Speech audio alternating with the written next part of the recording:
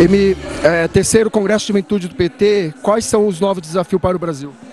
É sair do círculo vicioso do ajuste fiscal e voltar a pensar nossos objetivos estratégicos, o Brasil que a gente quer, sociedade que a gente quer, escola que a gente quer, futuro que a gente quer.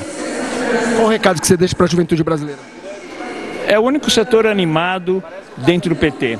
O único setor dinâmico é quem tem que assumir a direção do partido e a direção da nossa luta.